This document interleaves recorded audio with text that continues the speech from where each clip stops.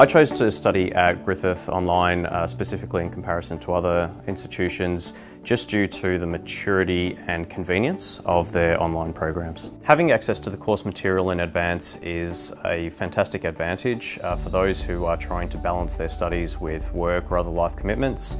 You can either get a jump ahead on your studies, uh, you can make those fit with commitments you know you've got in the coming weeks, uh, or it can just help you prepare and plan out your time so you're most effective.